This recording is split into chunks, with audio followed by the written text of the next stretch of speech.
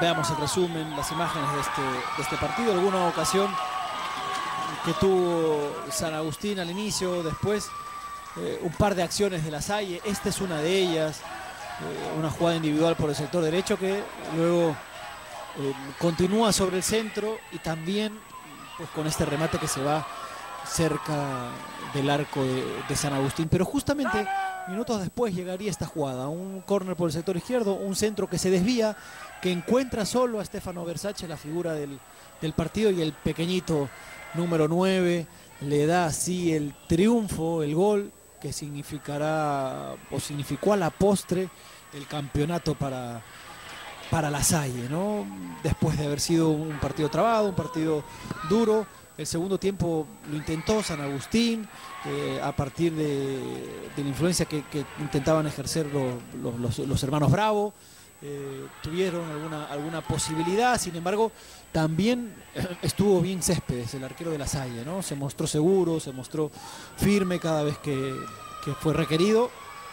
Y en ese sentido también fue una de las figuras, eh, fue, fue importante, me parece, en el triunfo final obtenido por, por la Salle, ¿no? En algunos minutos finales, estas son jugadas de los minutos finales, cuando ya crecía la, la emoción, eh, cuando ya pues podemos pasar a ver lo que es la premiación del segundo, del segundo lugar.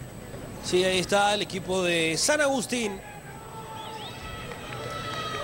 En el 2014 el subcampeón fue la Merced, 2013 subcampeón San Antonio de Callao y les decía que Markham había sido el bicampeón de la categoría menores en el 2013 y 2014. Y Marcan se quedó just- justamente frente a San Agustín, ¿no? Correcto, en cuartos de final San Agustín le gana 2-1, después vence 5 a 3 a Santa María y se mete en la final de este torneo. Bueno, la premiación entonces ahí está Titín entregando las medallas. Lo que ha sido la categoría menores en este playoff escolar Copa Movistar 2015 que hemos estado viviendo en las pantallas de SMD desde muy temprano. Recordar a la gente que, que futbolistas, por ejemplo, pasaron por estos torneos, ¿no? Bulos, el Gato Cuba, eh, Aurelio Sacoberti, Saldo Corso, Álvaro Ampuero, Werner, Schuller, Juan Diego Lee, Santiago Regaliati. Han sido muchos los futbolistas, Renato Tapia, que han pasado por este, por este buen torneo del playoff escolar que reúne a los mejores colegios o a los que mejores resultados tuvieron a lo largo del año.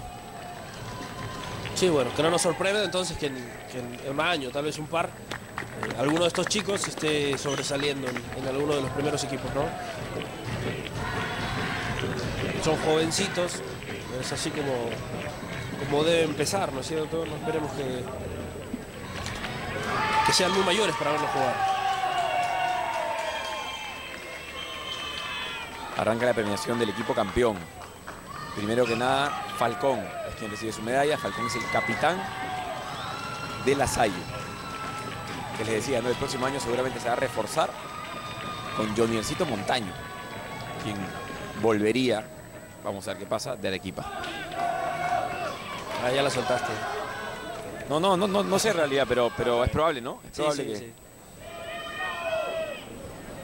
Bueno, está entonces el campeón de la categoría menores, el Colegio La Salle, que le ha ganado 1 a 0 al Colegio San Agustín en la final, con gol de Versace, la figura, categoría 2003, EGB.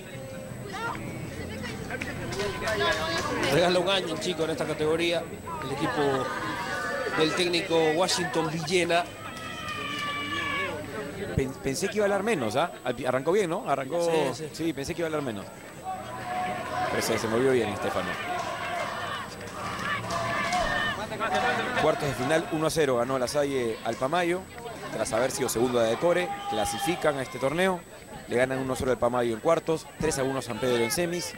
Y se ubican en la final donde consiguen por 1 a 0 el título. Ahí está el campeón entonces, La Salle se queda con la categoría menores.